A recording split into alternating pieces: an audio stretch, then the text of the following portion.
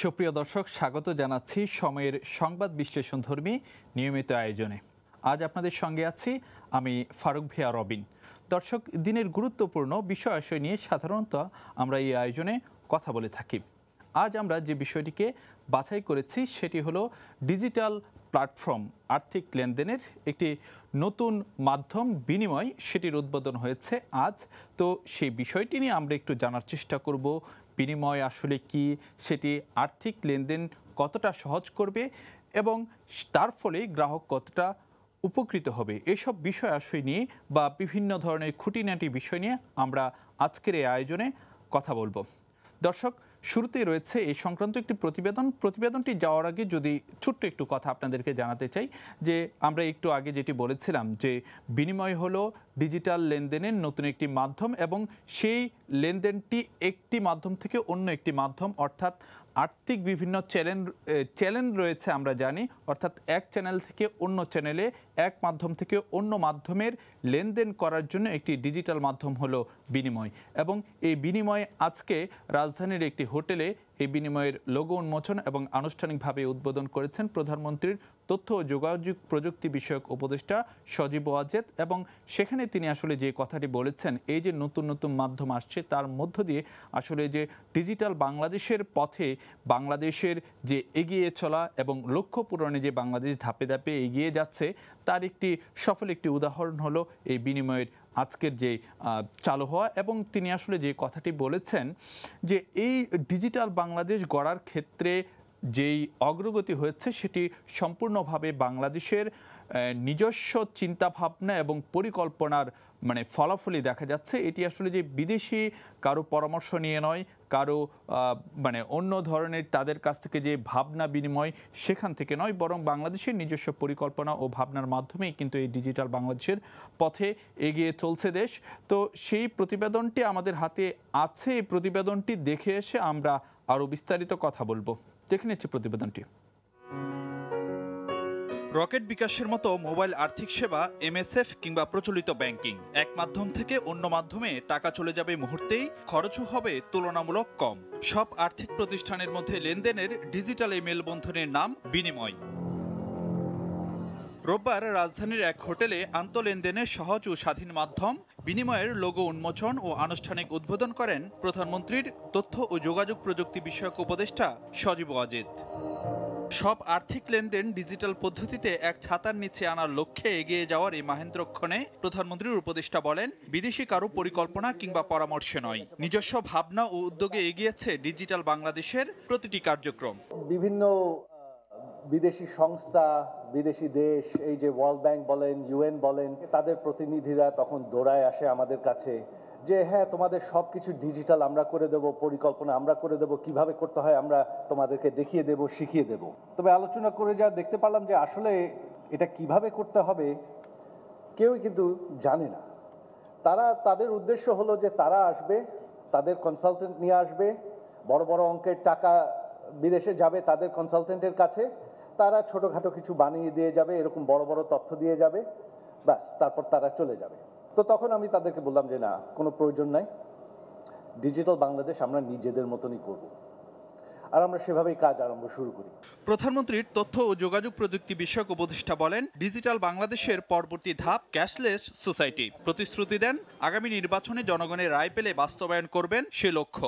প্রায় পাঁচ ছয় কোটি মানুষ এখনও তাদের ব্যাংক অ্যাকাউন্ট নেই তারা গ্রামে গ্রামে আছে। কাজ আমরা আরম্ভ করেছি বাট আমার টার্গেট আছে যে আগামী তিন চার বছরের মধ্যে আওয়ামী লীগ সরকার যদি মানুষ, এই বাংলাদেশের মানুষ যদি আওয়ামী লীগ সরকারকে আগামী নির্বাচনে ভোট দিয়ে ফের ক্ষমতায় রাখে, আগামী টার্মের মধ্যে বাংলাদেশের হান্ড্রেড পার্সেন্ট মানুষের ব্যাংক অ্যাকাউন্ট থাকবে, তারা সম্পূর্ণ ক্যাশলেস ভাবে চলবে। তিন স্তরে নিরাপত্তা ব্যবস্থার ডিজিটাল প্ল্যাটফর্ম বিনিময়ে লেনদেন হবে, সহজ, নিরাপদ ও সুরক্ষিত, আর্থিক খাতে আনবে স্বচ্ছতা, এমনটি আশা প্রধানমন্ত্রীর তথ্য প্রযুক্তি বিষয়ক উপদেষ্টা সজীব ওয়াজেদের।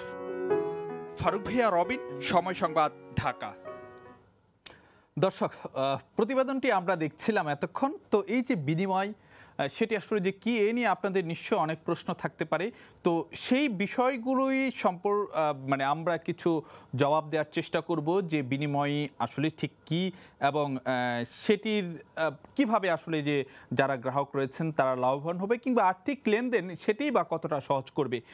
যদি শুরুতে একটু বলতে চাই যে মানে এই যে বিনিময়, সেটি হলো মূলত যে আর্থিক লেনদেনের একটি ডিজিটাল মাধ্যম, অর্থাৎ মানে একটি আন্ত লেনদেনের মাধ্যমে সম্ভব হবে।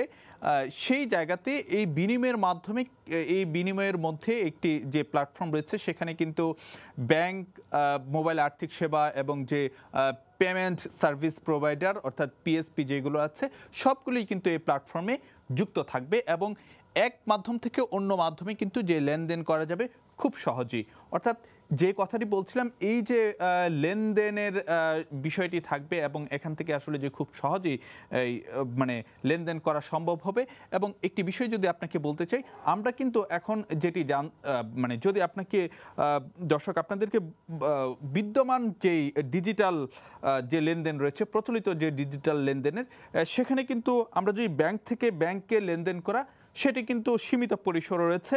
কিন্তু এখন যেই পরিস্থিতিতে রয়েছে, আপনি যদি বিনিময়ে যদি লেনদেন করতে চান, তাহলে কিন্তু এক ব্যাংক থেকে সব ব্যাংকে আপনি লেনদেন করতে পারবেন এবং মানে মোবাইল সেবা যেটি রয়েছে, অর্থাৎ মানে আর্থিক লেনদেনের যে মোবাইল সেবাগুলো রয়েছে, যেমন রকেট, বিকাশ, এই ধরনের কথা যদি বলি, সেখানে কিন্তু একটি থেকে অন্যটিতে টাকা পাঠানো যায় না এবং সেখান থেকে কিন্তু মানে ব্যাংকে পাঠানোর বিষয়টিও কিন্তু একটি চ্যালেঞ্জের বিষয়। তো এটিও কিন্তু সহজ হবে এই মাধ্যমে। অর্থাৎ সরকারি নীতি নির্ধারকরা যে কথাটি এখন পর্যন্ত বলছেন যে ব্যাংক থেকে ব্যাংকে মানে যে ডিজিটাল পদ্ধতিতে যে লেনদেন করাটা খুব সীমিত পরিসর রয়েছে এবং ব্যাংক থেকে যে মোবাইল আর্থিক যে সেবাগুলো রয়েছে সেখানেও কিন্তু সীমিত পরিসরে রয়েছে এবং ব্যাংক থেকে যে পেমেন্ট সার্ভিস প্রোভাইডারে লেনদেন করা, সেটিও বর্তমান যে প্রচলিত ডিজিটাল লেনদেনে সীমিত পরিসরে রয়েছে এবং মোবাইল আর্থিক সেবা থেকে যদি আমরা এই ব্যাংকে লেনদেন করতে চাই, সেটি কিন্তু সীমিত পরিসরে রয়েছে এবং অন্যদিকে মোবাইল মানে আর্থিক সেবা থেকে একটি কোম্পানি থেকে অন্যটি কোম্পানি থেকে আপনার যে লেনদেন করা, সে, সেখানেও কিন্তু যে একেবারেই নেই। এবং যে অন্যদিকে যে মোবাইল আর্থিক সেবা থেকে যদি পেমেন্ট সার্ভিস প্রোভাইডারে আপনি অর্থ পাঠাতে চান, সেটি কিন্তু একেবারে নেই এবং নেই বললেই চলে এবং যদি আমরা এই পেমেন্ট সার্ভিস প্রোভাইডার থেকে যদি ব্যাংকে টাকা পাঠাতে চাই, সেটিও কিন্তু একদম সীমিত পর্যায়ে রয়েছে। অন্যদিকে পেমেন্ট সার্ভিস প্রোভাইডার থেকে আপনি যদি মোবাইল আর্থিক সেবায় যদি টাকা পাঠাতে চান, সেই সুযোগটি কিন্তু নেই এবং অন্যদিকে এক পেমেন্ট সার্ভিস প্রোভাইডার থেকে অন্য পেমেন্ট সার্ভিস প্রোভাইডারে যদি আপনি টাকা পাঠাতে চান সেটিও কিন্তু যে সম্ভব না। কিন্তু নীতি নির্ধারকরা যে কথাটি বলছেন, এই সব কিছু সম্ভব হবে আসলে যে এই একই প্ল্যাটফর্মের মাধ্যমে, অর্থাৎ বিনিময়ের মাধ্যমে। এখানে কিন্তু যে সব আর্থিক যেই প্রতিষ্ঠানগুলো রয়েছে, সেগুলোকে এক ছাতার নিচে আনার জন্য কিন্তু যে সরকারের যে লক্ষ্য ঠিক করেছে, এই বিনিময়ের মাধ্যমে আনবে এবং সেখানে কিন্তু যে মানে এক মাধ্যম থেকে অন্য মাধ্যমে আসলে যে টাকা পাঠানো খুব সহজ হবে, সেখানে ব্যাংক থেকে ব্যাংকে যেমন আপনি টাকা পাঠাতে পারবেন, ঠিক একইভাবে ব্যাংক থেকে আপনার যে মোবাইল আর্থিক সেবাতে আপনি টাকা পাঠাতে পারবেন, আবার ব্যাংক থেকে সব ধরনের পেমেন্ট সার্ভিস প্রোভাইডারের কাছে আপনি টাকা পাঠাতে পারবেন। মোবাইল আর্থিক সেবা থেকে আপনি ব্যাংকেও টাকা পাঠাতে পারবেন।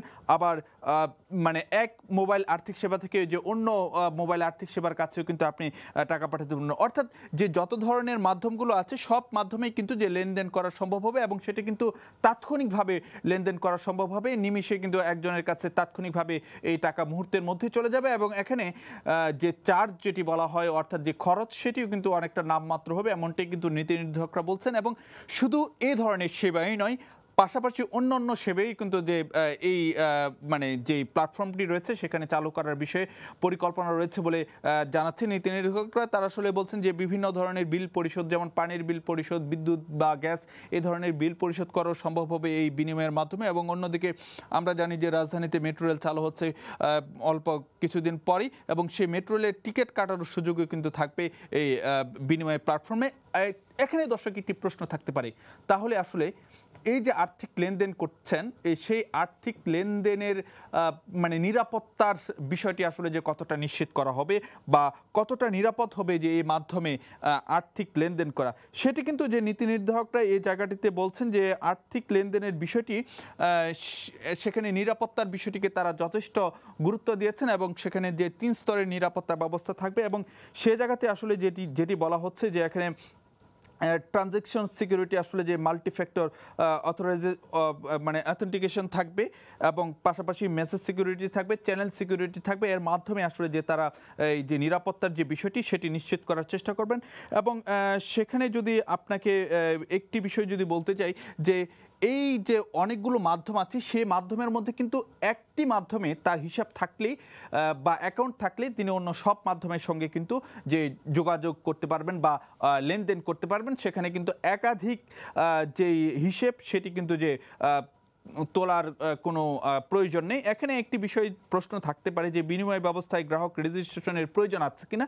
সেটির জবাবে যারা নীতি নির্ধারক আছেন, তারা আসলে যে কথাটি বলছেন যে একজন গ্রাহক সংশ্লিষ্ট আর্থিক প্রতিষ্ঠান কর্তৃক সরবরাহকৃত মোবাইল অ্যাপ ব্যবহার করে বিনিময় অ্যাপে রেজিস্ট্রেশন করতে পারবেন। সেটি কিন্তু যে নীতি নির্ধারকরা এই জায়গাটিতে তারা আসলে বলছেন এবং কি কি ধরনের লেনদেন সম্পাদনের সুযোগ থাকছে সেই জায়গাতে যে কথাটি বলা হচ্ছে, বিনিময় ব্যবস্থায় দুই ধরনের লেনদেন সম্পাদনের সুযোগ থাকছে। সেটি হলো যে ডিরেক্ট পে বা ডিপি এবং the request to pay RTP অর্থাৎ ডিপির মাধ্যমে, অর্থাৎ ডিরেক্ট পের মাধ্যমে গ্রাহক তার হিসাব থেকে অন্য হিসেবে, অন্য গ্রাহকের হিসেবে অর্থ প্রেরণ করতে পারবেন এবং অন্যদিকে আরটিপি অর্থাৎ রিকোয়েস্ট টু পে এর মাধ্যমে এর সাহায্যে অন্যের হিসেব থেকে অর্থ গ্রহণ করতে পারবেন। অর্থাৎ দুটি সুযোগই কিন্তু যে থাকতে, আপনি অন্য গ্রাহকের কাছে আপনি রিকোয়েস্টও করতে পারবেন যে আপনার মানে লেনদেন, আপনার সঙ্গে লেনদেন করার জন্য। তো এই সুযোগটি আসলে যে এখানে থাকছে।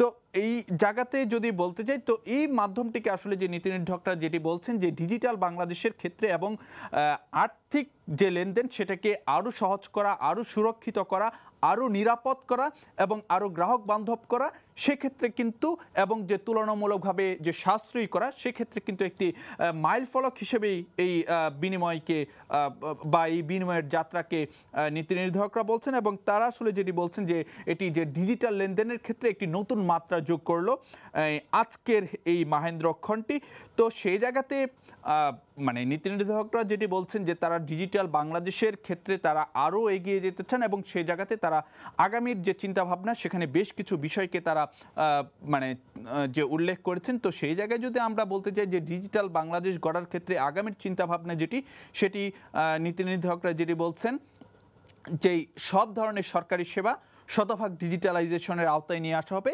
সেটি কয়েক বছরের মধ্যেই আনা হবে বলে নীতি নির্ধারকরা বলছেন। তারা আসলে বলছেন যে অনেক সেবাই, অনেক সরকারি সেবাই কিন্তু যে ডিজিটাল বা ডিজিটালাইজেশন করা সম্ভব হয়েছে, কিন্তু এখনও অনেক সেবা রয়ে গেছে যে, যেগুলো ডিজিটালাইজেশনের আওতায় আসেনি, কিন্তু ধাপে ধাপে যে সবগুলোই যত দ্রুত সম্ভব সব সরকারি সেবাই কিন্তু যে ডিজিটালাইজেশন করা হবে এবং পরবর্তী যে লক্ষ্য, সেটি হবে ক্যাশলেস সোসাইটি, অর্থাৎ সেখানে নগদ অর্থের যে লেনদেন নয়, অর্থাৎ এই যে এরকম যে বিনিময় যেরকম একটি মাধ্যম আমরা দেখলাম, অর্থাৎ যে ডিজিটাল পদ্ধতিতে অর্থ লেনদেন করার, সেই সুযোগটি কিন্তু যে মানে ধাপে ধাপে সম্পন্ন করা হবে এবং সে জায়গাতে তারা আসলে যেটি বলছেন যে, আজকে প্রধানমন্ত্রীর তথ্য, যোগাযোগ প্রযুক্তি বিষয়ক উপদেষ্টা সজীব অজয় জয়, যেটি তিনি আজকে যেটি বলেছেন যে, সবার ব্যাংক অ্যাকাউন্ট সেটি নিশ্চিত করাই কিন্তু যে তার এখন মূল লক্ষ্য।